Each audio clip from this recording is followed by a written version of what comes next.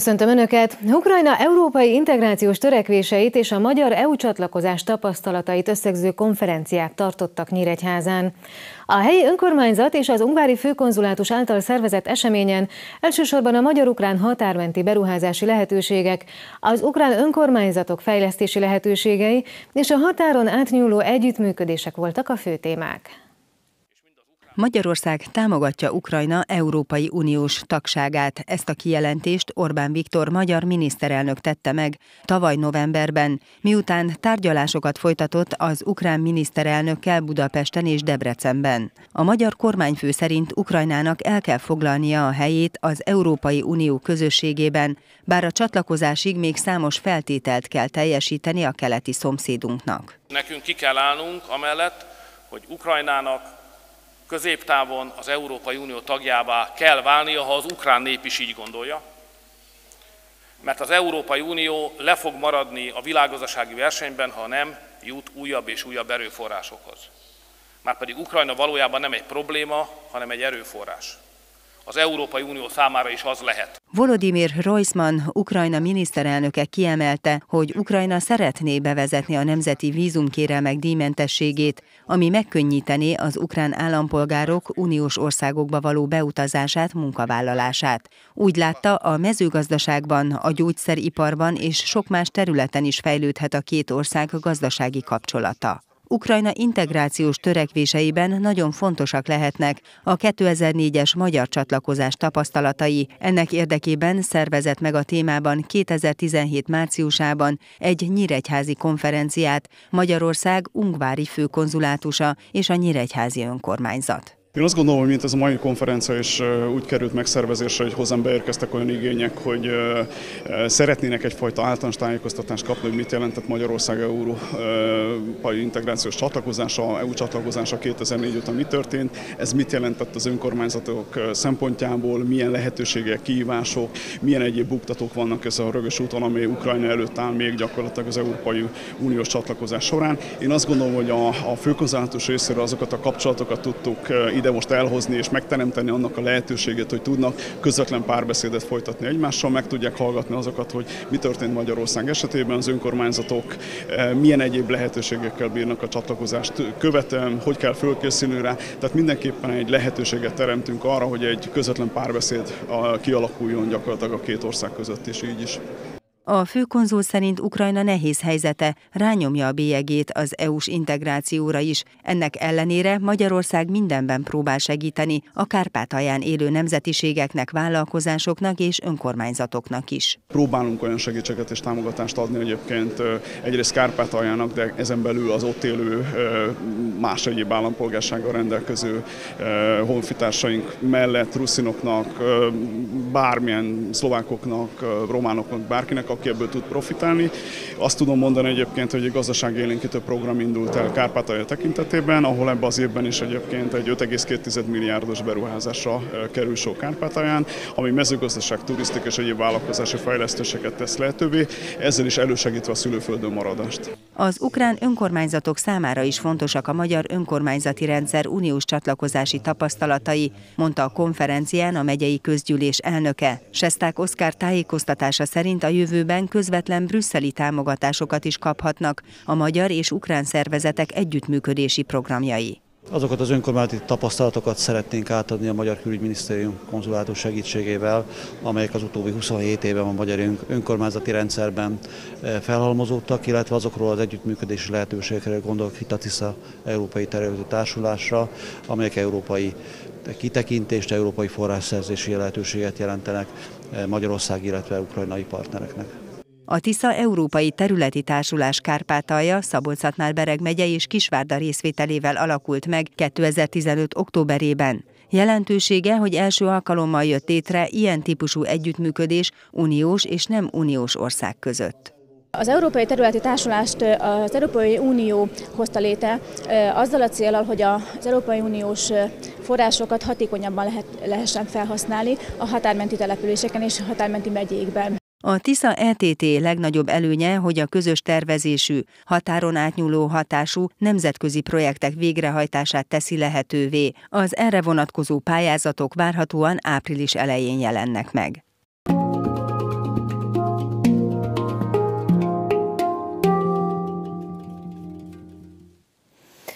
Mintegy 9 millió euróra pályázhatnak Magyarország, Szlovákia, Románia és Ukrajna szervezetei és önkormányzatai a 2020-ig tartó úgynevezett NICBC határmenti együttműködési program forrásaira. A pénzt többek között infrastruktúra fejlesztésre, a fenntartható környezet kialakítására és például média együttműködésekre használhatják fel a sikeresen pályázók. A program folytatása a hasonló nevű 2007 és 2013 közötti NP programozásnak. A Magyarország, Szlovákia, Románia, Ukrajna MP határon átnyúló együttműködési programot a 2007-2013-as programozási időszakban valósították meg a résztvevő tagállamok. Az Európai Szomszédsági és Partnerségi Eszköz finanszírozási forma az unió külső határai mentén történő határon átnyúló együttműködések támogatását szolgálta. A 7 éves program időszakban határon átnyúló együttműködések fejlesztésére összesen 68 millió euró közösségi forrás állt rendelkezésre. A prioritások között a gazdasági és társadalmi fejlődés, a környezet minőségének javítása, a határok átjárhatóságának növelése szerepelt. A programban tevékenyen részt vett a Szabolcs-Szatmár-Bereg megyei önkormányzat is.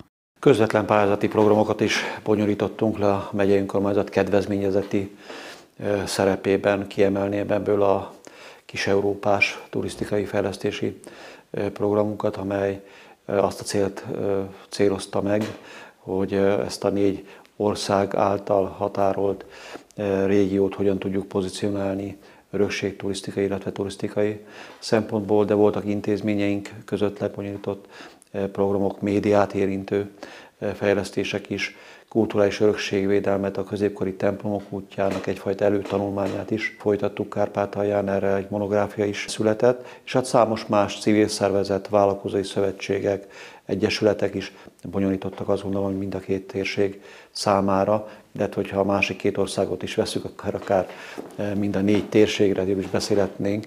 Persze ez egy e, földrajzi és sok szempontból, örökség szempontból is együvé tartozó, szervesen együtt élő, reményeink szerint mindinkább egységesülő, egyesülő régió. A 2014 és 2020 közötti új, úgynevezett ENI pályázati lehetőség keretében 9 millió euróra pályázhatnak a négy tagország szervezetei. Az első pályázati kiírások már megjelentek, a közgyűlési elnök tájékoztatása szerint lesznek kisközösségeket megcélzó pályázati lehetőségek is, amelyben egy-egy egyesület vagy akár egy település pályázhat kiemelten turisztikai, környezetvédelmi és hulladékfeldolgozási célok megvalósítására. A központi brüsszeli támogatás mellett a projektösszegek átlagosan 5%-át önerőből kell fedezniük a pályázóknak. Határmenti, illetve határon átnyúló útfejlesztés is szóba került a korábbi eh, tervezés során, illetve hulladékgazdálkodási programmal is szeretnénk megjelenni eh, Kárpátalján. Az ukrán partnereink folyamatosan felvetik, ők maguk most már ezt a problémát, ugye még különösen a Tiszának a szennyezettségét illeti, szilárd hulladékos szennyezettségét illeti, nincs igazán lerakó sem Kárpátalján, szilárd hulladék lerakó. Lehetséges a programban infrastruktúra fejlesztés is, tehát gondolkodunk egy lerakó közös fejlesztésében, egy hulladék lerakó közös fejlesztésében Kárpátalján. Szeretnénk folytatni azt a hírügynökségi médiás együttműködést, amely korábban már megtörtént az NP esetében, tehát itt is egy olyan közös platform, hírközlési, információáramlási platform megteremtését céloztuk meg, amely az ukrán közösségnek is, nem csak az ott élő magyaroknak, de az ukránoknak is magyarországi híreket, illetve a régióból származó, a másik két országból származó híreket is eh, megjeleníteni az ukrán polgárok előtt. Az összes megpályázható keretösszeg az 9 millió euró, eh, ugye elég nagy a programterülete, tehát ebben van szlovákiai, illetve romániai kedvezményezeti kör is, tehát akár összehasonlítva a, a más határmenti együttműködési programforrás keretével is ez meglehetősen szűkös, ezért nagyon alaposan el kell végeznünk a tervezési munkát.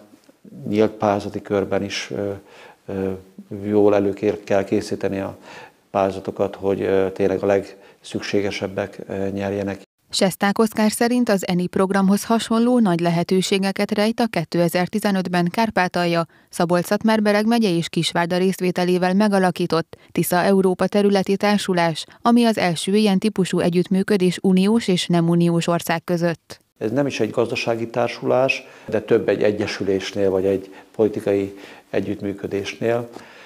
Magyarországi bejegyzéssel működik, de Ukrajnában is, ahogy már mondtam, jogalanyisággal bír, és különböző szolgáltatások közös elindítását teszi lehetővé számunkra, intézmény együttműködések megindítását, illetve pályázati programokban való együttműködést is. Ez az akadály is elhárult, tehát az ENI-ben is lehet pályázni a jövőben, akár a TICA Európai Területi Társulással is. Ami a szolgáltatásokat illeti, tervezünk egy egynapos sebészeti ellátás megszervezését Kárpátalján, Ungvári székhelyel. Magyarországon egyre inkább terjedőben van ez a ellátási forma, ami olcsó, hatékony beavatkozásokat jelent, és ezt szeretnénk Ungváron is meghonosítani. Ez európai forrásokat bevonni, közvetlen brüsszeli támogatást, illetve ebbe hitelkonstrukciónak a bevonását is látjuk. Tehát ez túlnyúlna az ENI-nek a keretein is, és hát innovatív módon másfajta európai uniós források bevonását is jelenteni Kárpátalja fejlesztésébe, akár egy egészségügyi ellátási meghonosításával is. A tervek szerint az ezzel kapcsolatos pályázati anyagot hónapokon belül összeállítják a szakemberek, a sikeres pályázatot követően pedig megjelenhet ez az ellátási forma Kárpátalján is.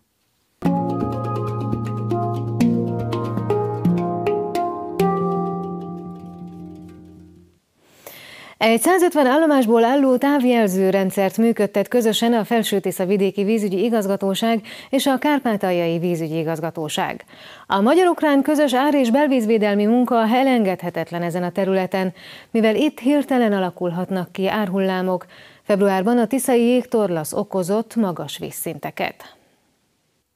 Hatalmas jégtorlasz a Tisza felső szakaszán Záhony térségében. Február elején a folyó 727 cm-rel tetőzött a határvárosnál. A jégtorlódás vízszintemelkedést okozott, ami miatt különböző szintű árvízvédelmi készültséget is elrendeltek az egyes folyószakaszokon.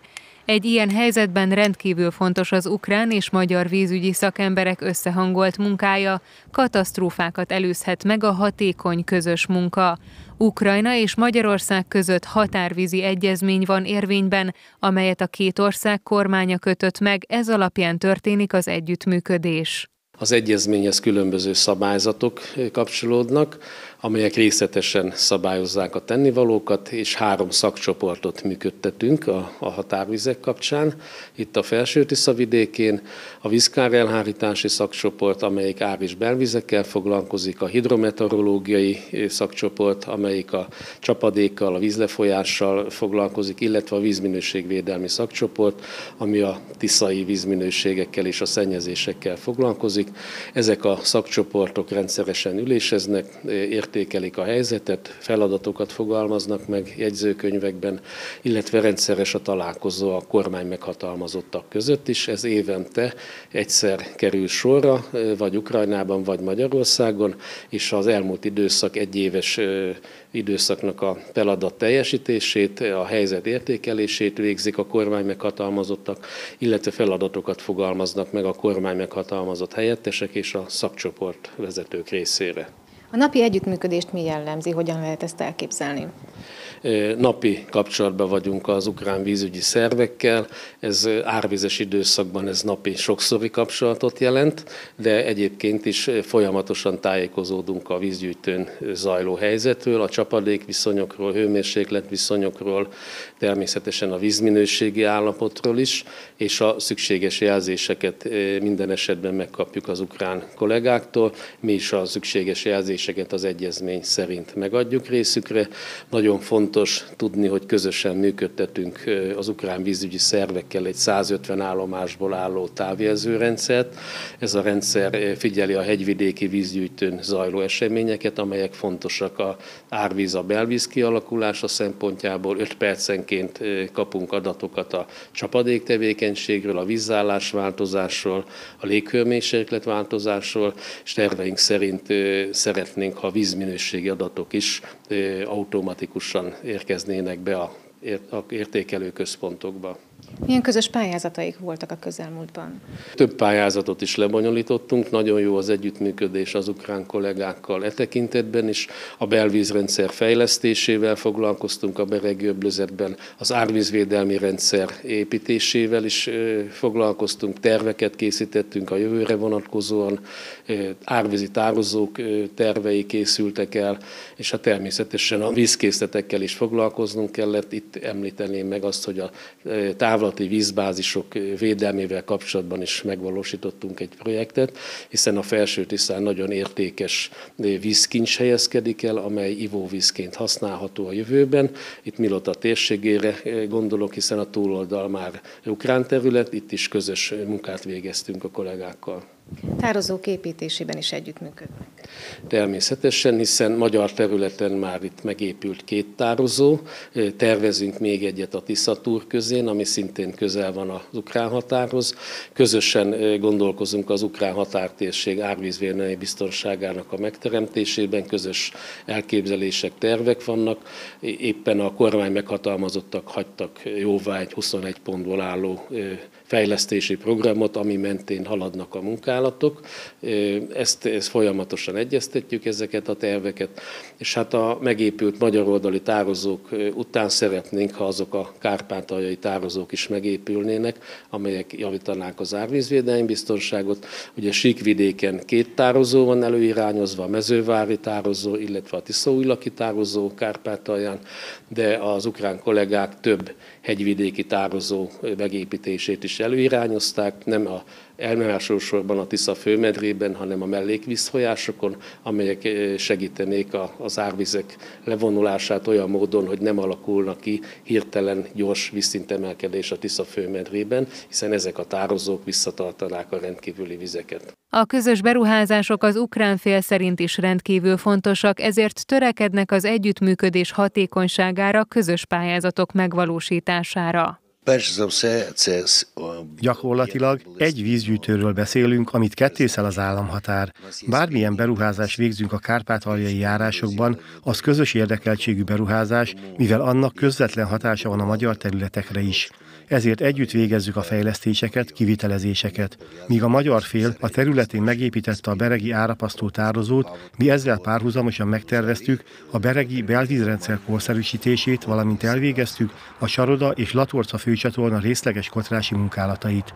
Közösen a magyar partnerünkkel Európai Uniós pályázat keretében elkészítettük a Batári belvízrendszer és a Tiszatúr közű öblezet belvízrekonstrukciós tervét. Több mint tíz éve közösen fejlesztjük a magyar-ukrán vízrajzi felmérő rendszert, és korszerű modelleket alkalmazunk az árvízi előrejelzésben, ami jelentős időelőnyt ad a védekezésre.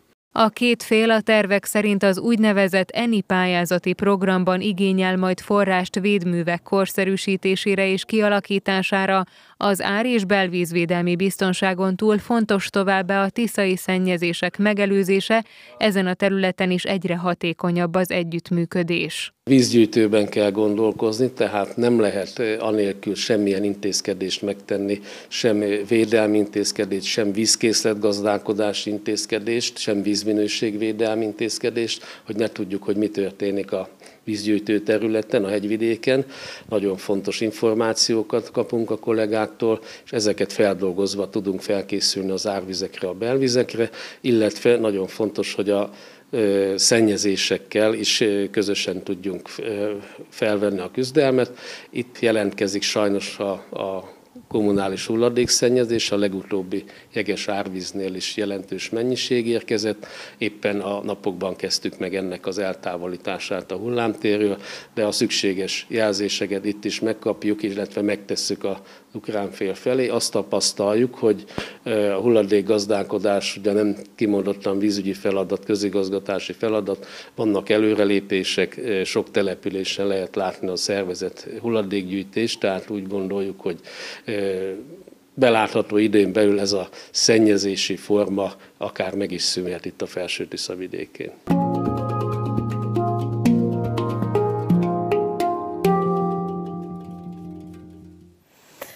Együttműködési megállapodást ír alá a Nyíregyházi székhelyű Móricz Zsigmond megyei és városi könyvtár a Kárpátaljai Magyar Művelődési Intézettel, valamint a Kárpátaljai Magyar Könyvtárosok Egyesületével. A Nyíregyházi könyvtárigazgató azt mondta, már évek óta szoros az együttműködésük, ám azt most megújítják, szorosabbá fűzik. Többek között szakmai továbbképzéseket, könyvcsere programokat is szerveznek a közeljövőben. Beregszászi könyvtáraknak válogat köteteket a Nyíregyházi Móricz Zsigmond megyei és városi könyvtár munkatársa. Fontos, hogy magyar nyelvű könyvek kerüljenek a kárpátaljai polcokra. Ez egy kiemelt feladata nem csak a kultúrának, hanem a kormányzatnak, Magyarországnak, hogy segítsük a határon túli magyarokat, a, a kulturális örökségünket tovább vigyük és megtartjuk függetlenül attól, hogy a mai határok hol húzódnak. Megyei könyvtárként kiemelt feladatunk a nemzetiségi, etnikai és kisebbségi ellátás a megyében, és ugyanígy a határon túl is igyekszünk kialakítani a jó kapcsolatokat, illetve a meglévő kapcsolatokat ápolni. A Nyíregyházi székhelyű könyvtár a már meglévő beregszászi kapcsolatait is erősíti, a Kárpátaljai Magyar Művelődési Intézettel, valamint a Kárpátaljai Magyar Könyvtárosok Egyesületével ír alá együttműködési megállapodást. A kapcsolat arról szól, hogy mi magyar nyelvű könyveket viszünk át nekik, és ott ők, e, az a két egyesület fogja szétosztani a megfelelő helyekre, a járási könyvtárakba, úgynevezett letétként fogják kölcsönözni, használják, olvassák, és ezt évente meg fogjuk cserélni ezeket a könyveket. Mindig újakat viszünk ki, igyekszünk az ottani olvasói szokásokhoz igazodva vinni és válogatni a könyveket. Közel 600 darab kötet várja már a kiosztást Beregszászon, tehát várja, hogy ez az együttműködési megállapodás aláírásra kerüljön, és akkor fognak a megfelelő helyekre jutni ezek a könyvek.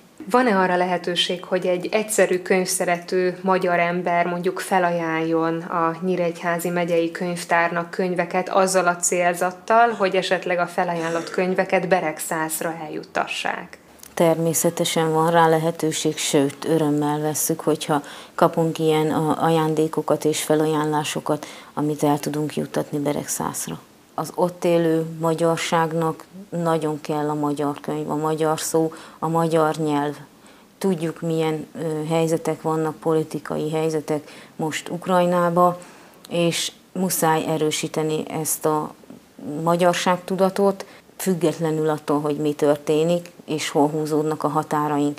Ugye a megyei könyvtárnak még feladata a helyismereti gyűjtemény, gyűjtőmunka megőrzése, hozzáférhetővé tétele. Öt történelmi vármegyéről beszélünk, ezeknek a gyűjtése sem tud másképp megvalósulni, csak együttműködési megállapodások keretében, ha tőlük megkapjuk ezeket az anyagokat, digitalizáljuk, és hozzáférhetővé tesszük az ő számukra is. Tavaly is volt ilyen projekt vagy program, amikor a Hungarikana adatbázis mutattuk be, és Szatmár Németiből is, és Beregszázból is hívtunk kollégákat, könyvtáros kollégákat, levéltári kollégákat, mert szeretnénk megőrizni, felkutatni azokat az értékeket, azokat a kulturális örökségeket, amelyek ott vannak náluk, de mint megyei könyvtár nekünk feladatként ezt ugye meg kell őriznünk, az utókornak hozzáférhetővé kell, hogy tegyük, ezért is rendkívül fontos, hogy ezek a határon túli kapcsolatok nagyon-nagyon jól működjenek, erősödjenek és szélesedjenek. A bővülést mutatja az, hogy folyamatosan megkeresik ugye a Nyíregyházi székhelyű Móricz Zsigmond megyei és városi könyvtárat. Milyen együttműködés lehet a közeljövőben még? Pont pár héttel ezelőtt a Buhalja József főkonzul tolmácsolásával kerestek meg minket az Ivan Frankó megyei tudományos könyvtárból. A könyvtár igazgató nője kereste meg a megyei könyvtárat azzal a céllal, hogy egy szakmai tapasztalatcsere induljon el a két könyvtár között, ők megismerjenek egy magyarországi könyvtár, könyvtárat, annak a működését, ugye itt is a jó gyakorlatok, szakmai elképzelések, trendek, változásoknak az átadása rendkívül fontos, valamint ugye a könyvállomány, könyvcsere, könyvajándékozás, könyvadományozás.